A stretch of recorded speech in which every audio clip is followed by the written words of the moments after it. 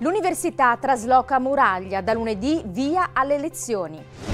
Spaccio di droga a Pesaro, quattro clandestini espulsi in una settimana. Politica, il centro-destra sfiducia l'assessora Conti. Emergenza casa, tarderanno tre anni gli 80 appartamenti previsti a Villa Ceccolini. La nuova VL sfila nell'apertura di Battiti Festival.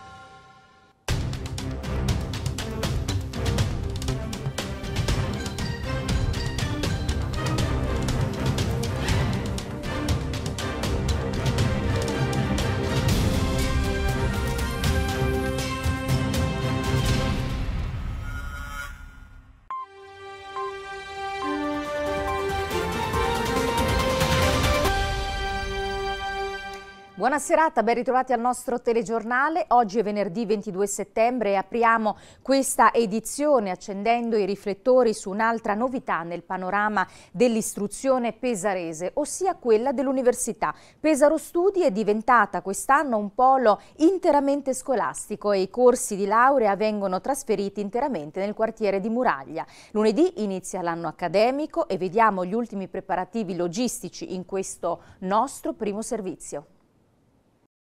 I primi studenti hanno già cominciato ad appropriarsi dei nuovi spazi. Fra pochi giorni arriveranno anche gli altri quando lunedì 25 settembre partiranno ufficialmente i corsi della sede universitaria distaccata di Pesaro che sta completando i traslochi da Viale Trieste a Via Petrarca nella sua nuova destinazione a Muraglia. Da questo settembre Pesaro Studi sul Lungomare è infatti diventato un polo scolastico al 100% per i trasferimenti degli studenti della Dante Alighieri e della Mascarucci, spingendo gli studenti universitari nella sede del quartiere 7 Muraglia Montegranaro che si sta riarredando con i materiali presenti a Pesaro Studi. Alcune aule sono già pronte, altre lo saranno nelle prossime due settimane per accogliere oltre 150 studenti nei corsi proposti a Pesaro dall'Università di Urbino e dalla Politecnica delle Marche. Riprendiamo il 25 con l'inaugurazione dell'anno accademico, anche se in questi giorni sono già attive alcune lezioni nei nuovi locali dell'Università Muraglia. Il centro civico è stato completamente ristrutturato e riadattato alle esigenze dell'università. Gli arredi sono quelli di Pesaro Studi e gli ambienti sono stati già riattivati per consentire le lezioni. In tutto, quando tutti gli spazi saranno recuperati, saranno sette aule per l'università con spazi per gli uffici e anche una zona verde verde in cui i ragazzi, nonostante la lontananza dal mare, potranno studiare. Abbiamo avuto anche una risposta abbastanza positiva da parte dei ragazzi ma anche dei professori, c'è stato un lavoro di squadra di tutti gli uffici perché nel, in 60 giorni è stato fatto un lavoro che di solito viene fatto forse in sei mesi. Noi come comune stiamo cercando anche di dare i servizi, abbiamo contattato anche le imprese del territorio per poter dare ai ragazzi anche dei prezzi calmierati se hanno bisogno di andare a mangiare o comunque consumare intorno all'edificio. È un edificio che si presta, siamo riusciti a trovare la giusta soluzione e insomma di questo sono soddisfatta anche perché comunque l'università in questo modo può andare avanti. Il trasloco dell'università ha portato alcune modifiche alle attività preesistenti nella struttura di Via Petrarca. Abbiamo ottimizzato gli spazi, abbiamo spostato alcune associazioni, abbiamo spostato la biblioteca, è stata portata nel quartiere di Villa Fastigia e devo dire che anche in questo c'è stato un lavoro di squadra con tutti i quartieri. Di conseguenza le, gli spazi sono stati modificati anche all'interno e l'anagrafe viene spostata al lato, del, quindi non, non ci sarà diciamo, un dis, mh, difficoltà per i cittadini cittadini che devono andare a fare i certificati, la, la polizia lo stesso rimarrà sempre nel, nell'edificio di fianco e il quartiere lo stesso avrà in condivisione con, eh, con altre associazioni che sono rimaste nel luogo per poter eh, incontrare il, il consiglio di quartiere. Abbiamo trovato anche la soluzione in eh, questo senso. Ed ora passiamo alla cronaca. Una settimana intensa nel contrasto allo spaccio di droga nella città di Pesaro. Gli agenti della questura hanno effettuato quattro espulsioni dal territorio di altrettanto pluri pregiudicati. Soltanto nel corso dell'ultima settimana nella città di Pesaro sono stati espulsi quattro cittadini extracomunitari irregolari sul territorio. Espulsioni avvenute mediante l'accompagnamento da parte del personale della questura in vari centri di permanenza per il rimpatrio dislocati fra Puglia, Lazio e Sardegna. Tutte e quattro le espulsioni risultano legate a reati connessi allo spaccio di sostanze stupefacenti. La prima espulsione ha riguardato un albanese di 62 anni che aveva appena concluso il periodo di carcerazione dopo una condanna a più di tre anni di reclusione per reati in materia di stupefacenti, ma annoverava precedenti anche per reati contro la persona. Il secondo espulso è stato un gambiano di 26 anni rintracciato dalla questura all'interno del parco Miralfiore e risultato irregolare sul territorio, oltre che pluripregiudicato in materia di stupefacenti, lesioni, resistenza, furto e violazioni della legge sulle armi. Sempre al Miralfiore è stato rintracciato un nigeriano di 33 anni che annovera numerosi precedenti in materia di stupefacenti e reati contro il patrimonio. Risale invece alla scorsa notte l'espulsione di un marocchino di 31 anni con precedenti per furti, lesioni, minacce, che aveva appena concluso il periodo di carcerazione ma che era stato sorpreso a spacciare mentre era ristretto agli arresti domiciliari. Ed ora passiamo alla politica perché i consiglieri comunali pesaresi di Lega, Prima C'è Pesaro, Fratelli d'Italia e Gruppo Misto annunciano di aver protocollato una mozione di sfiducia nei confronti dell'assessore alla sostenibilità Maria Rosa Conti. La mozione chiede al Consiglio di votare la sfiducia alla Conti revocandone l'incarico di assessore conferito dal sindaco Ricci lo scorso gennaio. Nella mozione si legge come, secondo i consiglieri di centrodestra, la Conti si stia dimostrando inadeguata al ruolo mostrando noncuranza delle regole, conflittualità con i colleghi di giunta e assenza di strategie nelle politiche ambientali della città. Accuse rivolte anche al sindaco che, per i consiglieri, avrebbe nominato la Conti soltanto per assecondare logiche di alleanze nazionali del Partito Democratico con Europa Verde. Dall'opposizione passiamo alla maggioranza di centro-sinistra che invece ha chiesto ufficialmente la convocazione di un consiglio monotematico sulla sanità. A distanza di un anno e mezzo dal precedente consiglio sulla riforma sanitaria viene dunque di nuovo proclamata la presenza a Pesaro del governatore Acquaroli, così come dell'assessore alla sanità Salta Martini e della direttrice dell'azienda sanitaria provinciale Nadia Storti. Interlocutori inviati a fare chiarezza sui ritardi nel cronoprogramma del nuovo ospedale di Muraglia e sui trasferimenti dei reparti sui quali resta ancora una nube di incertezza.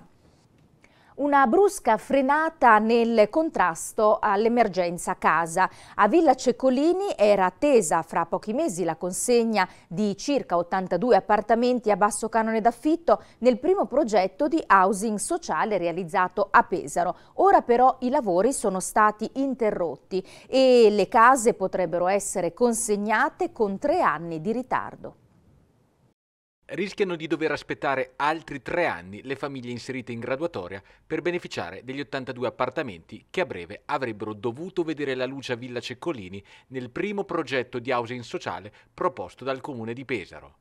Ovvero 82 soluzioni abitative in basso canone d'affitto, quale risposta a una crescente emergenza casa in città una soluzione intermedia destinata a quelle famiglie che non possono permettersi affitti agli attuali costi di mercato, ma che allo stesso tempo non versano in condizioni di povertà sufficienti da disporre dei requisiti di assistenza dei servizi sociali.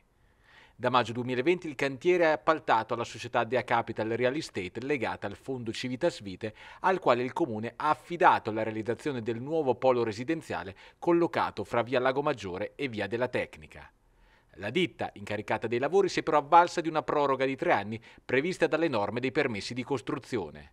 Lavori dunque interrotti e il comune, che nello specifico ha Mila della Dora come assessore di riferimento, è stato costretto a sospendere la graduatoria in essere che prevede 70 assegnatari riaggiornandola al completamento dei lavori comune che cerca anche una mediazione per provare ad accorciare i tempi in un progetto che non solo può dare un tetto a 500 persone, ma che prevede anche una riqualificazione in termini di viabilità, parcheggi e nuove attività economiche. A otto mesi dal suo ingresso in Confesercenti come responsabile sindacale, Davide Ipaso è stato nominato oggi dall'associazione di categoria come nuovo direttore della sede di Pesaro, una carica precedentemente ricoperta da Alessandro Rigurgo, il quale manterrà il suo ruolo di direttore Confesercenti per l'intera provincia di Pesaro Urbino. Domani il cammino di Pesaro, capitale della cultura 2024, eh, muove un altro importante passo nel coinvolgimento dell'intero territorio provinciale.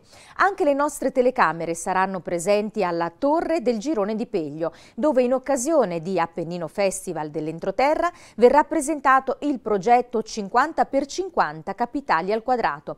Progetto che dalle 10 sarà illustrato da sindaco e vice sindaco di Pesaro, Matteo Ricci e Daniele Vimini, Giovani e dal direttore di Pesaro 2024 Silvano Straccini, alla presenza di sindaci e referenti dei comuni della provincia e la capitale della cultura fa la sua parte anche nelle cucine internazionali. Il 26 e 27 settembre lo chef Roberto Dormicchi, docente dell'Istituto Alberghiero di Piobbico, rappresenterà Pesaro 2024 proponendo a Hong Kong un piatto dedicato a Gioacchino Rossini in occasione di Degusto, una rassegna in cui saranno promosse oltre 500 eccellenze italiane da proporre sul mercato asiatico. Domenica 24 settembre torna invece l'appuntamento con i versi di Dante Alighieri. A Fiorenzuola di Focara, Vivi Dante il maestro, vedrà protagonista una lunga maratona di lettura dei canti più suggestivi della Divina Commedia, a partire dalle 15.30. Ad accompagnare le letture ci saranno le melodie e i passi di danza dell'Associazione Culturale La Fabola Saltica di Gradara. E domenica 24 settembre ricorre anche la giornata del patrono di Pesaro, San Terenzio, primo vescovo della storia della città. E allora a partire dalle 18 Rossini TV vi trasmetterà in diretta dal Duomo la Santa Messa di concelebrazione eucaristica officiata dall'arcivescovo Monsignor Sandro Salvucci. La funzione sarà preceduta alle 17 dalla tradizionale processione con l'urna del Santo che da via Rossini muoverà verso corso 11 settembre settembre, via Mazza, via Passeri, via Branca e piazza del Popolo, prima di fare il suo ingresso nella cattedrale. Domani 23 settembre ricorre invece la giornata europea del patrimonio, un appuntamento promosso dal Ministero della Cultura che come ogni anno sfocia in iniziative organizzate da Archivio di Stato e Biblioteca Oliveriana. Vediamo. Il 23 e il 24 settembre si celebrano in tutta Europa le giornate europee del patrimonio. È un evento che in Italia è promosso dal Ministero della Cultura come ogni anno eh, abbiamo pensato ad un percorso eh, per quanto riguarda la città di Pesaro, un percorso per le vie cittadine eh, dedicato a un tema specifico, quello delle collezioni scientifiche che hanno aiutato ad apprendere generazioni di studenti nelle scuole di Pesaro. La collaborazione è con eh, ETRA, Entra nell'Arte eh, e Antonella Michaletti e eh, quest'anno abbiamo collaborato anche con due scuole, l'Istituto Tecnico tecnico agrario Cecchi e il liceo eh, Marconi. Abbiamo eh, elaborato un percorso che tutti possono eh, effettuare online grazie al sito Almaloci e grazie alla piattaforma Easy Travel dedicato appunto alla conoscenza e all'esplorazione delle collezioni scientifiche che sono nate a Pesaro subito dopo l'Unità d'Italia, in alcuni casi anche prima e che tuttora vengono arricchite, quindi si parla anche di collezioni moderne nelle nostre scuole. E, mm, come al solito collaboriamo con la Biblioteca eh, Oliveriana di Pesaro, quest'anno abbiamo avuto la partecipazione anche dell'Accademia Agraria in Pesaro e eh, mm, dell'archivio del, di Gabriele eh, Stroppanobili. Il Worldscape di questo anno, del 2023, per le giornate europee del patrimonio, vede dei protagonisti d'eccezione che sono gli studenti delle, di alcune scuole di Pesaro. Invece di strutturare l'intero percorso e quindi anche i contenuti, come sempre ha fatto l'associazione ETRA, eh, noi abbiamo invece fatto da coordinatori eh, rispetto al lavoro che invece è stato completamente svolto dai ragazzi. Quindi è stato, speriamo, molto formativo dall'aspetto più di contenuto e di studio a quello più tecnico. Come si costruisce costruisce un percorso, come si costruisce un wallscape e come si realizza fattivamente per poterlo poi ehm, pubblicare sulla piattaforma almaloci.com dove poi è disponibile per tutti gratuitamente in modo da poter rifare il percorso liberamente. Quello di domani quindi alle 17.30 agli Orti Giuli eh, c'è l'appuntamento dove ci presentiamo e facciamo un po' un'introduzione al lavoro per poi andare in archivio eh, dove invece verranno presentati i documenti, verranno presentati mh, tutto il percorso su Almaloci perché sarà impossibile farlo eh, andando direttamente nelle scuole, ma eh, è importante che questa volta si faccia in un luogo diciamo circoscritto proprio perché vogliamo lasciare anche in quell'occasione spazio agli studenti per raccontare cosa hanno fatto. Eh, sinteticamente vorrei dire che l'esperienza è stata eh, secondo me particolarmente importante perché a partire dallo studio di queste collezioni scientifiche all'interno delle scuole i ragazzi hanno veramente compreso più da vicino eh, la specificità della loro scuola e confrontata con la scuola degli altri. Quindi c'è un lavoro di identità rispetto alla propria formazione che credo sia veramente importante.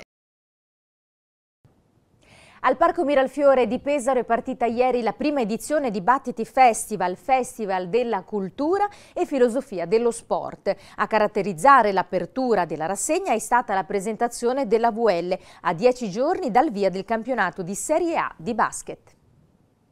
Giusto partire con la VL perché oggi la VL eh, rappresenta Pesaro nel basket a livello nazionale eh, rappresenta la città come l'ha rappresentata per tanti anni, quindi c'è una storia eh, dietro la UL, una storia del basket cittadino, del basket italiano e anche del basket internazionale. E a me è estremamente cara perché io sono cresciuto nella UL, anzi ho iniziato con la UL, si può dire, la mia carriera lavorativa come fisioterapista e quindi sono sinceramente molto affezionato e devo ringraziare la VL per gli anni che ho passato con loro e per l'esperienza che ho potuto fare e quindi era giusto secondo noi partire con la VL e sarebbe stato bello anche coinvolgere qualcuno del mondo dei motori ma purtroppo in questo weekend sono fuori e quindi non ci siamo riusciti. Vedremo il prossimo anno magari se prendere un weekend dove potremo avere anche qualche campione di questo tipo. Non è un festival che è nato quest'anno perché sia un'edizione diciamo così sporadica, è nato quest'anno proprio con l'idea di fare un'edizione il prossimo anno, nel 2024, proprio perché Pesaro sarà capitale eh, della cultura e quindi non volevamo arrivare impreparati al 2024, volevamo anche noi avere un anno di prova che era un anno prima del 2024 e quindi è giusto dire ci siamo quest'anno e vi aspettiamo anche il prossimo anno. L'avventura sta andando bene perché è cominciata eh, con una grande unione di intenti, è cominciata sotto una voglia di, di, di fare bene, Uh, la cosa che non è mai scontata è il fatto che ci troviamo bene tra di noi, lavoriamo bene, i ragazzi stanno bene insieme, si piacciono, abbiamo e stiamo lavorando dal ritiro di Carpegna con grande, grande attenzione ed edizione piano piano stiamo riuscendo anche non solo a migliorare l'amalgama ma anche ad avere un buon approccio con quello che dobbiamo fare, quindi piedi per terra, elmetto in testa, anche la capacità di superare momenti difficili o errori, la squadra da quel punto di vista segue ed esegue. Abbiamo giocato senza o con qualcuno senza problemi, tutti coinvolti, eh, queste insomma, sono, sono cose che sembrerebbero semplici ma non sono scontate, quando le hai vuol dire che hai una base sulla quale poi tecnicamente e tatticamente puoi lavorare bene. Io mi trovo molto bene, io credo e spero, voglio eh, che questa squadra, noi dello staff, si sia veramente all'altezza di, di quello che respiri in una città come questa, perché solo queste città ti possono dare quell'emozione lì, ti possono dare l'idea di, sai, wow, sono in un posto di basket quindi il sostegno che abbiamo è una cosa che è imprescindibile anche perché ci dà, a parte la responsabilità, ma anche la carica, per cui devo dire che da quando stiamo lavorando lo stare qui è veramente bello. Bellissima occasione per parlare di educazione, di filosofia e di etica, perché lo sport insegna, insegna soprattutto a conoscere se stessi, ma anche noi stessi all'interno delle squadre, di un qualsiasi nucleo, anche quello familiare. E quindi nel momento stesso che insegna noi riusciamo a superare i nostri limiti, quelli sportivi, a conoscerli, ma anche quelli interpersonali. e questo è fondamentale perché lo sport raccoglie tantissimi valori che sono quelli della vita, che sono il coraggio, la forza, la passione, l'impegno, la costanza e questo è fondamentale per crescere sani e anche da adulti per ricordarselo sempre. Ricordare che i valori della vita sono i valori dello sport e viceversa. Continuiamo a parlare di sport ricordandovi che domani arriva il primo appuntamento ufficiale della stagione di calcio a 5, Ital Service. I pesaresi possono già puntare a un trofeo essendo fra le quattro squadre che hanno diritto a giocarsi la Supercoppa. Domani alle 17.30 al Pala Maggiore di Leini, in provincia di Torino, l'Ital Service giocherà in semifinale contro la Fel di Eboli, campione d'Italia in carica. In caso di vittoria, finalissima domenica alle 18.15 contro la vincente fra Torino e Roma.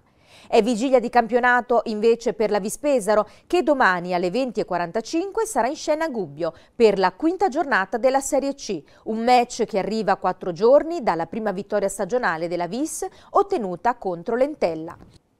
Eccoci arrivati alla fine del nostro telegiornale, carissimi amici, in questa edizione del venerdì. Andiamo a vedere però la programmazione su Rossini TV, perché questa sera alle 21.20 vi mostreremo la commedia teatrale dell'Associazione Culturale Stella di Macerata, L'isola che non c'è.